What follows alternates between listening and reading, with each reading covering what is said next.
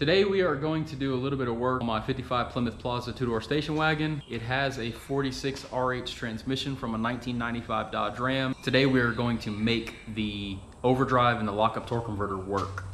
So pretty much I took a 1995 Dodge Ram that was wrecked. I paid 150 bucks for it with 150,000 miles.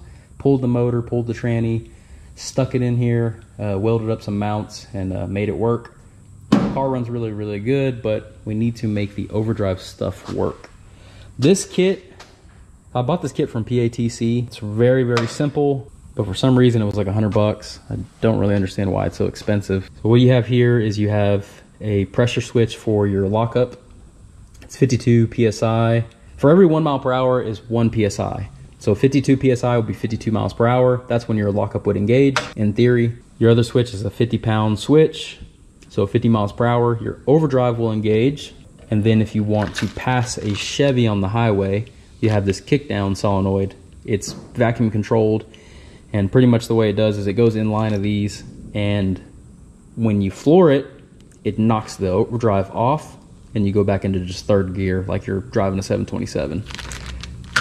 All right, let's get started. I need to get access to the transmission, so I'm gonna go ahead and jack the car up. Okay, so if we're up underneath the car, right about there, we're gonna have a little plug. That is our three wire plug for our overdrive and lockup. If you're getting one of these transmissions from a junkyard, you're gonna need to cut the plug off or keep the plug with the little harness.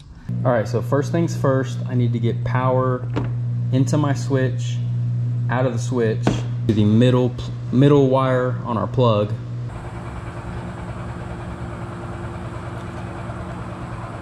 This wire connects to the COM on our pressure switch. All right, so we can figure out our length of wire. We need to find a spot to mount it. I'm gonna go ahead and zip tie it right here to this wire harness. Now this wire, I'm gonna run straight to my fuse panel. All of these are switched on with the key. All right, now that the wire's on, we can tighten it up. Pop our fuse in. Got a 15 amp. Go ahead and loosely route the wire up to the switch because we still have to run one more wire down to the transmission. Now we can do our vacuum line to our pressure switch. I'm gonna route it along here, down on this loom, and straight to the bottom of the carburetor. All right, plug it in right there. All right, now I got the power wire that goes to the middle wire on the harness and some wire loom. I'm gonna go ahead and feed it down.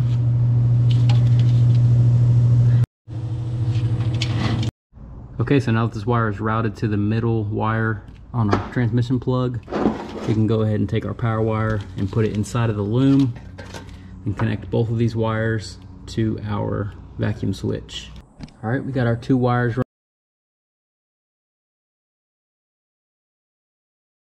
running on our vacuum switch and we have one wire on the NC and the other wire on the COM. They're always in contact until we floor it and when it open then our overdrive will kick off. Okay so we have two ports we need to remove. There is one right here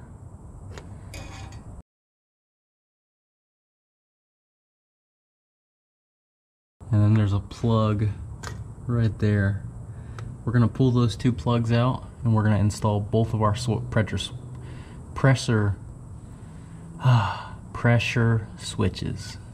We got our white wire going to our 52 psi pressure switch and then we have our green wire going to our 50 psi switch and then that wiring harness is loomed and runs over the top of the transmission and it goes to this side and we have our harness so the harness plugs in like this on the top of the transmission. So the wire in facing the front of the car, which in this case looks like a brown wire, is your overdrive.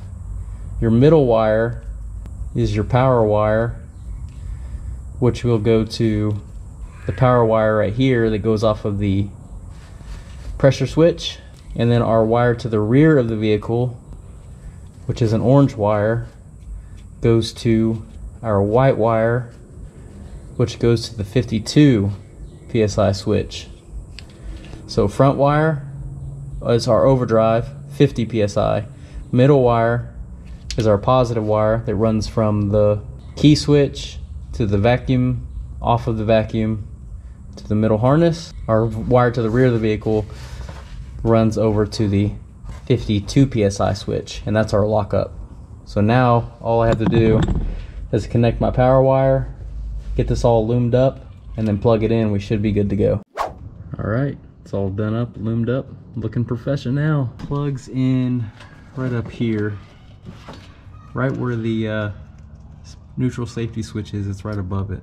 Okay, so it turns out this port and this port are wrong. There's a port way up back there. You can barely see it. I'm gonna have to put both of these sensors on that port with a T-fitting right here. So I'm gonna go ahead and relocate it and hopefully it fits, which I, it doesn't look like it's going to. I uh, can't get my ratchet in there, so I'm just gonna take my pry bar and bend this trans tunnel out of the way. All right, so that's what it should look like. I am right up against my floor and that was a pain in the butt to get in. Hopefully I got enough thread tape where it doesn't leak. If it does leak, I'm gonna have to cut off this floor right there and uh, tighten it from the top and then weld it back together. All right, let's take it for a test spin.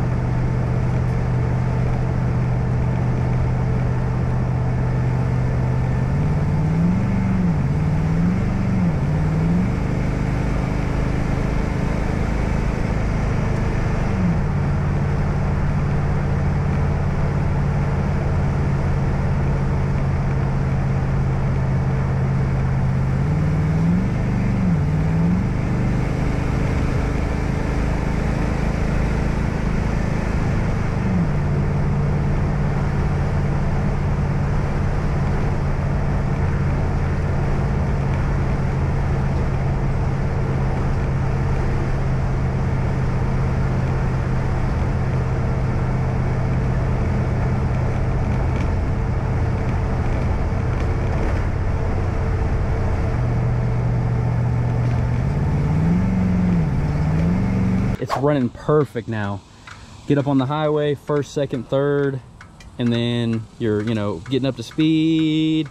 Once you let off the gas just a little bit to where you want to go 60, between 60 and 70, overdrive will kick in. As soon as you give it a little bit of throttle, it'll kick out of overdrive and then you can go, and then you can go back into third. If you're having problems where it's kicking in and out of overdrive too much, you can adjust the screw in or out and uh, get your pressure just right. This thing is way easier to drive now. Those 373 gears, when it was in third gear, this thing was screaming and it was really hard to drive because you're screaming and it's and it's makes it easier to actually steer when it's when it has a smooth RPM like that.